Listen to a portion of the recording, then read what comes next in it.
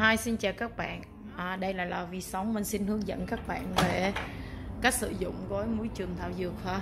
Về sản phẩm uh, chăm sóc sức khỏe dùng ngoài không xâm lấn. À, đây là gói uh, túi trường thảo dược. Đây là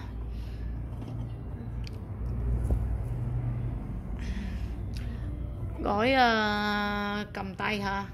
Chấm uh, điều trị là phong thấp hả? Tay hả? Ra mồ hôi. Đây là gói chườm mắt hả? Chúng ta kết hợp sử dụng cùng một lúc để quay ha.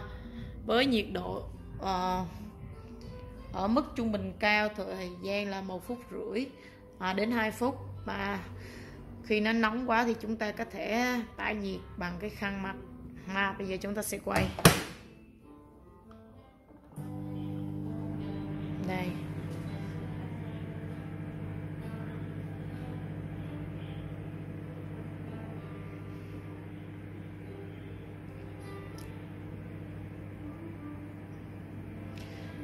Để đạt cái uh, hiệu quả chúng ta phải tuân thủ uh, theo nhiệt độ và cách sử dụng của sản phẩm ha.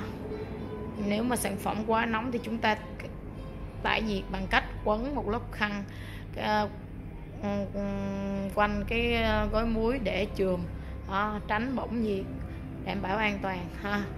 Về gói chườm tay chúng ta kết hợp là vừa nằm chườm cổ vai gáy và bụng và kết hợp hai um, bó chùm tay để mà làm lưu thông máu huyết và túi chùm mắt đắp để mắt thư giãn và phục hồi thị lực ha.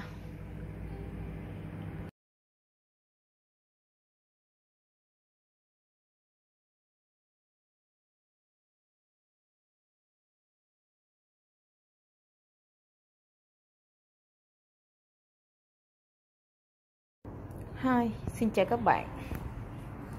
Đây là menu của cơ sở massage xoa bóp dây ấn huyệt Bảo Ngọc và tiếng Anh gọi là Massage Body Relax Bảo Ngọc.